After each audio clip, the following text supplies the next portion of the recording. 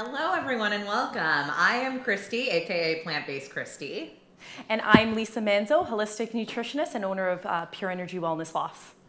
And today, Lisa, tell us what, what we're going to be making. We are making really simple, healthy breakfast egg muffins. It's really exciting. We have three different recipes with three a variety of different ingredients for you to choose from, and we're super excited. All right, so we'll be right back. This is Real Food Live.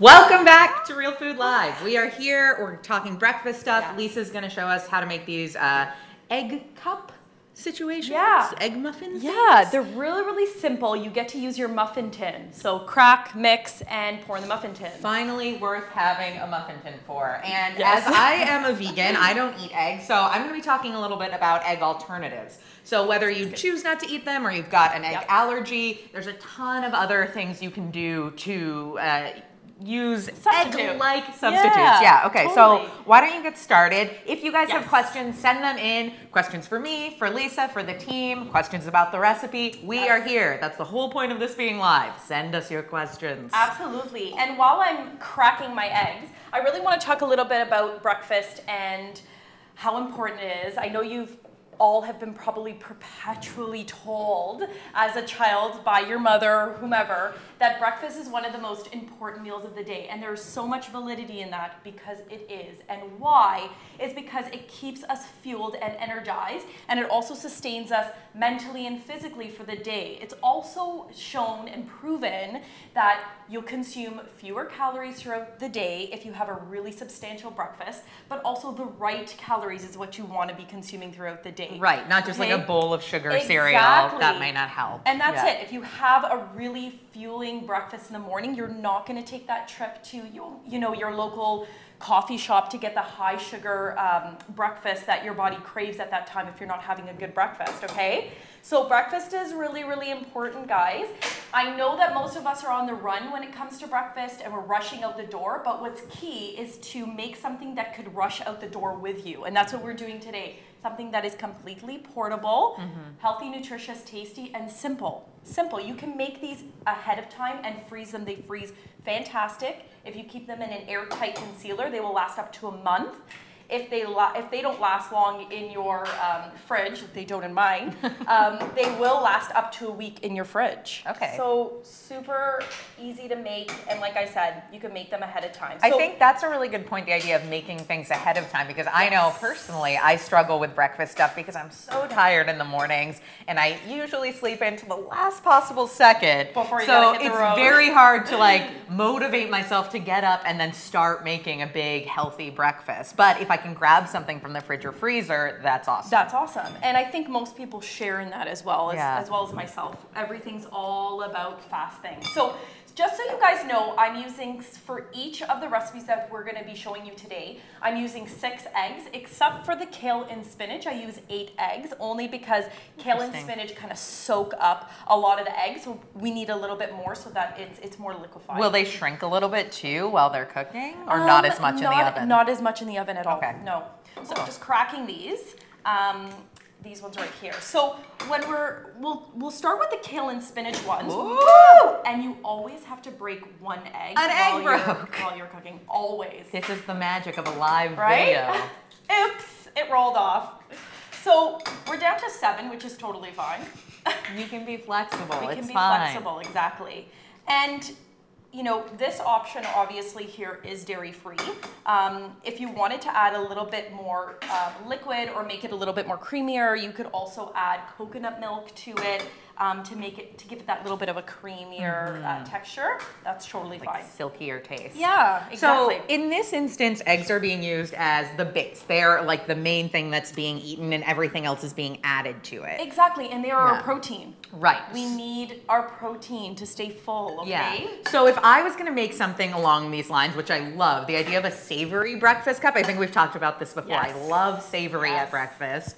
Uh, I would probably use something like a non-GMO organic tofu, and you can make tofu scrambles really easily with extra firm tofu, just crumbling it up. You can also use silken tofu, which is almost like a liquidy egg-like uh, texture and consistency. Definitely, yeah. And they bake up really nicely too. So that's one of my favorite things to use. You can use something called black salt, which has an sort of an eggy smell. It's very sulfurous. Ooh, uh, yeah, you definitely wouldn't know uh, if you weren't expecting it. You might not want it, but to add a bit of that sort of eggy Yep. flavor for people who remember it but can't have it anymore or choose not to, it's a really fun way to sort of mimic eggs. Amazing. Yeah. So those are great options Yeah. for vegans.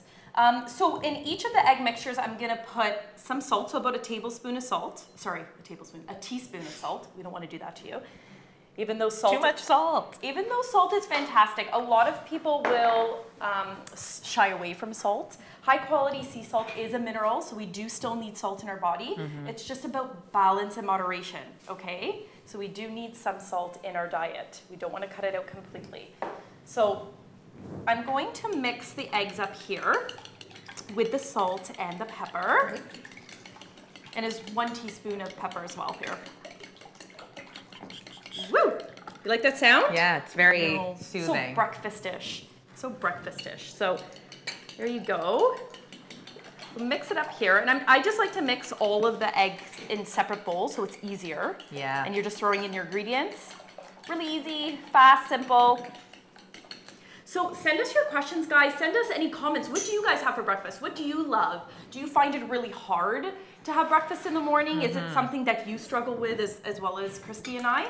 Let us know. We want to know. I know for me, the idea of a smoothie in the breakfast is in the breakfast in the morning for breakfast is always very appealing. But Yes. similarly, even that it doesn't take a lot of time, but psychologically, it can be a lot to muster Yeah, in and myself. throw it all in. But you know Yeah. what? Also with smoothies, I love love smoothies in the summer. But as soon as it hit fall and the winter, my body doesn't want anything cold.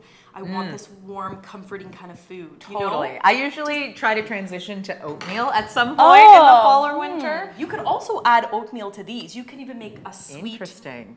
Healthy breakfast muffin. So egg with oatmeal and then some cinnamon, some raisins, some nuts. That's great. Yes. Uh, Esme says, or Hi. Esma, how do we say your name? Tell us. Love that you're making a portable breakfast. Will definitely come in handy. Definitely. That's totally right. So we're gonna start with our kale and spinach. So we have one shallot chopped, okay? Throw that in there. It's all about just tossing it all in.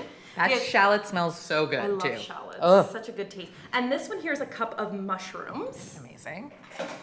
and then a cup of spinach, which I'm going to cut, and a cup of kale.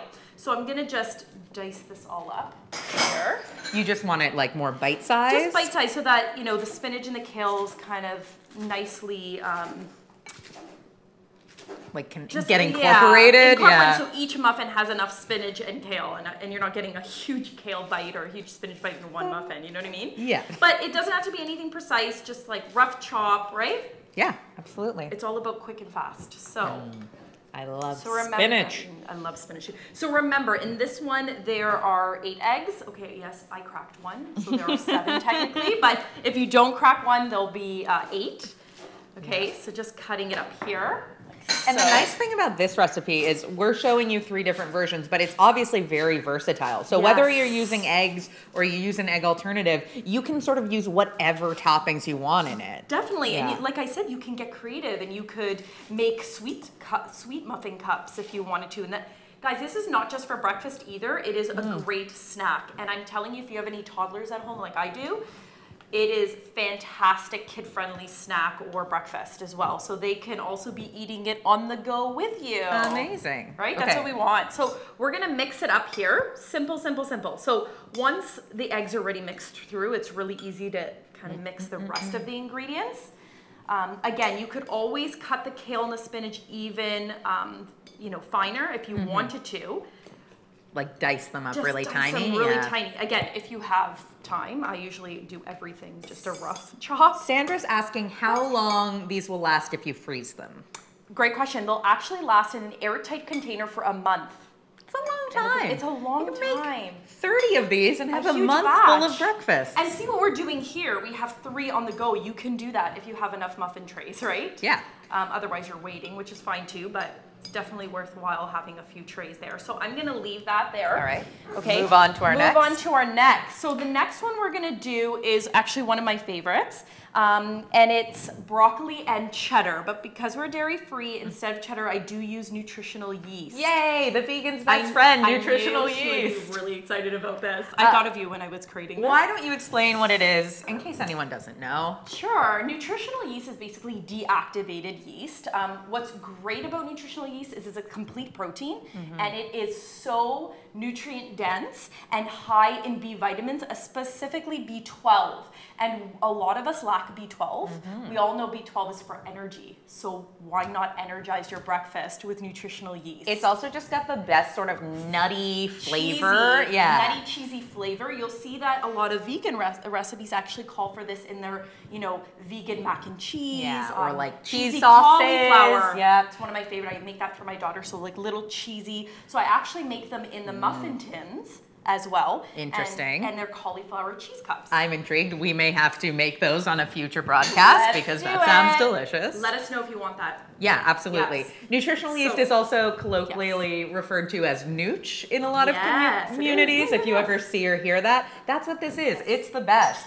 Gloria also sent in a message saying that she made pancakes Ooh. using only bananas and eggs and blended them up and Oh. then fried them.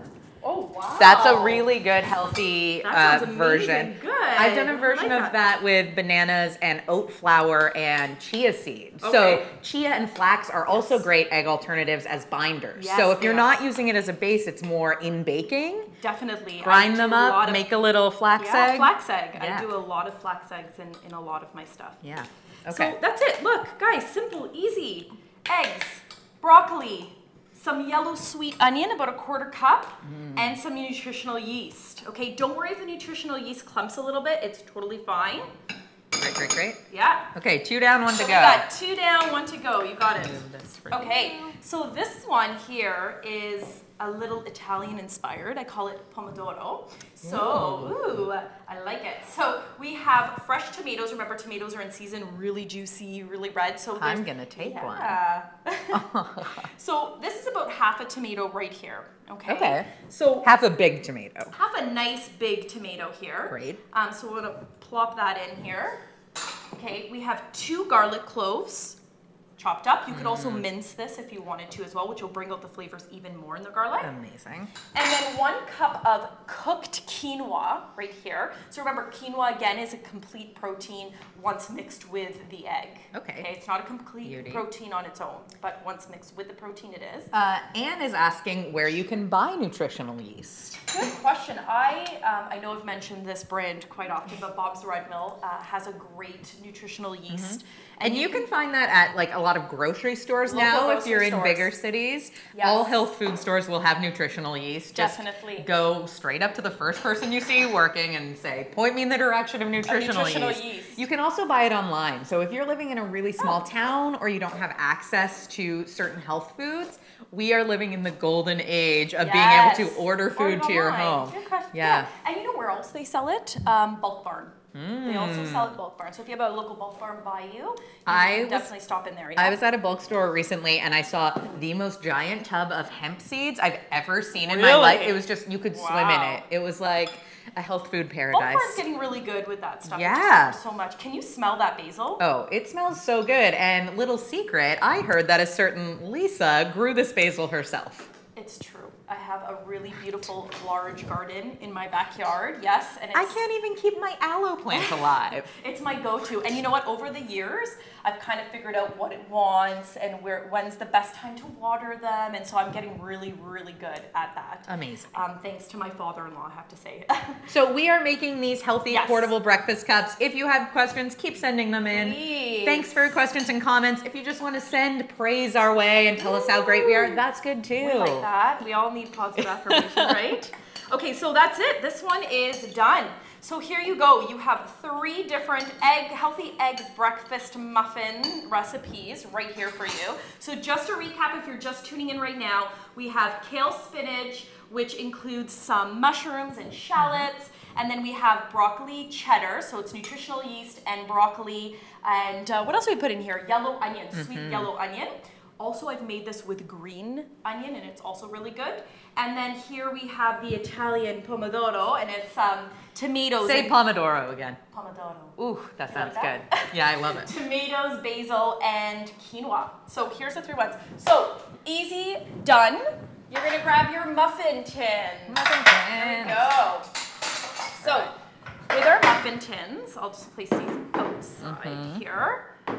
Okay, with our muffin tins, so you can tell I use mine a lot. They're kind of getting Well loved. well loved. good. I like to get uh, a piece of kitchen paper and coconut oil. You can use coconut oil, you can use ghee, you mm-hmm. can use avocado oil. Just make sure that you're coating it very, very well. They do now sell coconut and avocado sprays. Ooh. And I find that's really good when you're baking with, you know, a loaf pan or something like that. But when it comes to muffin tins, I don't find it's the most effective because when you're spraying, it's only getting on a little bit of the bottom of the muffin tin, so everywhere else sticks. Or you'd have to use so much Or spray, have to be like- right? yeah, kind of, kind of a waste. So basically the whole the whole jar or Yeah. whatever of it. So I find this way the best. So you kind of dip your towel into the coconut oil or the ghee and you spread all see how See, juicy I love like, this right so there. much because I love coconut oil and I like the taste. Yes. But there are also coconut oils you can get now that don't, Don't have have, a very strong coconutty Yes, taste. you're right. So it's just a healthier saturated fat. Yep. They have, uh, I believe it's called a high smoke point. This is where the nutritionist will have to it is correct high me. smoke Yeah. point. Well, coconut it's- oil does have a high smoke point. Yeah, so it's sure. fine to get really hot. It's not going to get unstable like some other oils might. Yeah, so if you're sauteing, you definitely want to do uh, a coconut oil or an avocado oil Mm-hmm. or a grapeseed oil. You definitely want to choose those oils because they do have a high smoke point. So you're putting like a fair amount of oil Yes. into these. And the reason being is if you don't, they stick. Okay. Okay, I'm telling you, they do. From experience. From, from, from experience. She's been there Yeah. and can tell you. So when you are removing these from the tins, you're just gonna get a spatula if you have just like a nice thin one, Mm-hmm. and you're slowly going, just like you would muffins, slowly going around the edges and lifting, okay? Cool. If you find that yours do stick, next time use a bit more coconut oil or whatever you're using, avocado or butter or whatever it is. Yeah. So the last egg alternative that I'm going to talk about today is something I discovered fairly recently and I am obsessed with, and it is chickpea flour. Oh so Oh I love yes, sorry about that. chickpeas. Oh, please. I love chickpeas so much. Hummus, Yes. we all eat it all the time. It's the best. But chickpea flour is this amazing, amazing way to eat chickpeas. So Yes. basically, you add water to your chickpea flour and then it turns egg like. It's like magic. So you can make omelets, you can make scrambles. Yep. It is so cool. You can use it to make very thin crepes. You Uh, can make it to make chickpea fries. That's what I do. Oh, yum, yum, yum. Like, Yes. so good. Uh, it's Versatile, got, yeah, it's really yes. versatile. It definitely has more of a savory taste. Yes. So I will usually do something like this, chop up a lot of vegetables, add it, mix it up as a blend, and it is one of my favorite ways Oh, to, you know, have an omelet as a vegan. It's a great idea. Yeah. So here I'm, for the sake of the camera, I am going to um, do it by row. But if I was doing this at home, I would use the entire egg mixture of each one for the 12 muffins. So each one makes 12 egg muffins. Okay. Okay. So you could do three whole hands, make a day of it, and like And you said, then freeze a bunch. It's also a really good idea, I think, if you are making make ahead meals for breakfast, Yep. to do a few different styles so you have that versatility and you don't get sick of it really fast. Absolutely, because you don't want to be eating the same breakfast all the time, Yeah. especially. But this will provide variety for you and your family, right? Totally. I think that's a, a problem sometimes we run into trying to eat healthy is we get really gung ho and we'll prep a bunch of something and then after the fifth day of eating a quinoa bowl in a row, you're starting to get a little bored of it. So it's nice to keep it more dynamic. Definitely. And guys, not to go into too much detail, but we don't want to be consuming the same things every single day on a daily base, week after week, because we can also create an intolerance to that food Ugh. when we're eating it regularly. So we That's a nightmare to eat something you like so much that you make yourself intolerant to it. Exactly. So we need variety, which makes things more confusing. This is why we need stuff that's fast like this, okay? Totally. So we're almost done here. We're almost done. Send in your questions, comments. Do you want to know where to buy ingredients? Ask us about that. We have good answers, apparently. Okay, so, So, this one here is you you, ha- you have to make sure you get the egg from the bottom Yeah, to make sure thicker, enough, huh? it's much thicker. So that's why I was saying this one requires a little bit more egg in the sense that the kale and the spinach does soak it up. beauty. So how are these looking? What are you guys thinking? What Tell do you guys us. think? Do-do. Is this something you feel like you could do that's simple and you could do in advance and freeze it and this is something you and your children could definitely see yourselves eating? Please let us know. We need your feedback. Yeah, absolutely. And for our future Real Food Lives, we also want to know what you guys are most interested in. Yes. Is this sort of thing that's like a take ahead, prep ahead thing useful to you? Do you want to know more about snacks? We've done some snack stuff already. Let us know what you want. So here they are. Our healthy, Da-da-da. easy, simple. I feel like we need a hero breakfast shot of this. Yeah. Let's hold this pretty thing up. So we're gonna pop these in the oven, 375 for about 20 or 25 minutes. Remember, at the 20 minute mark, you wanna check your oven because everybody's oven is so different if you have an electric to a gas. Um, but around 20 to 25 minutes, um, and let them cool down. Pop them out of the muffin trays, freeze them if you're gonna freeze them once they're cooled. And how do you know they're done? When's the like, oh, these are perfect? They'll be nice and brown, just just slightly brown at the top. Um, egg cooks really quickly, so we never have to worry either. Great. And just a reminder that all of these vegetables here are raw, so you didn't have to pre-cook. The only thing I pre-cooked in advance is quinoa, which is another great alternative for you to do in a batch because Totally. you can add those to anything. Make a quinoa salad. It's all about variety. And quinoa Okay? also freezes pretty well. So Quinoa freezes very well, and you can make a quinoa porridge in the morning. Put it Yeah. in a mason jar. I love quinoa. Now it's time for a little bit of Facebook Live magic. Yes. Ta-da! Here we go, guys. I feel like we need a fake clock that just did a 20 minute. And here they are. It's magic. so here we have our kale and spinach um, muffins, and then down the center are the broccoli and nutritional yeast, so cheddar, and then the last ones are the pomodoro. So here we go, three um, three different types for you right here. We hope you are super excited as much as we are Yeah, to totally. eat these. Totally. to eat these. Um, so But how? how portable they are. So talk about storage and portability Sure. before we wrap things up. Yeah, so in terms of storage, you always want to, whether you're putting it in the fridge or in the freezer, it's an airtight concealer, a spe- airtight sorry, Container. container, and you want to make sure that um, that you're putting an expiry date on them, so you know, especially if it's going in the freezer. Our lives are Smart. so busy. We are like, what month did we put those in? Yeah. Um, so you want to make sure you label it properly, and then in the fridge, it probably won't last more than a couple days. Okay. Okay, awesome. Yeah. So easy to make ahead. Really easy. I am. I think I am going to challenge myself this week to try to make a vegan version of this. I, on, and I will be watching. So. I'm really Yes. excited to try and do a, a little bit of experimenting with Yes. it. Uh, and you'll be able to find that on my Instagram at Plant. Based Kristy. Uh, check it out. I will definitely sure. be asking Lisa for lots of advice. For sure, for Yeah. sure, anytime. And so, guys, remember, all you need is a napkin, and you can take them to go. If this is something that you want to bring to work as you're sitting down checking your morning emails, throw them in a container and bring them with you, and you can mm-hmm. enjoy them at your desk and know that okay, I had fueled, I got fueled, I feel good, I feel healthy, and I feel energized, and that's it. Totally. Super so simple. Thank you guys so much for tuning Thanks in for today. us. We had such a great time. I am Plant Based Kristy, And I'm Lisa Manzo. and we want you to leave your comments, leave your questions, even after the live stream is done. If you're watching this at a later time in the Yes. future, our team will get back to you with all of the answers to your questions or your comments. Let us know what you want to see more of in the future. Definitely. Check out all our past videos. You can check out here on Facebook or on YouTube. And check out our other show, uh, which is Real Talk on Tuesdays at 7. Definitely guys. And you know what? I am so enjoying the pictures that you guys are posting after we've made Totally. our, our meals and tagging us. Continue doing this. I can be found at the Lisa Manzo. Mhm. At Plant Based Kristy. Tag us. We Yeah. get so excited and we will respond uh, based on you making our great recipes here. We will not stop responding. No. So keep doing that, guys. Thanks for joining in. Yeah, have a great day. Bye. Thank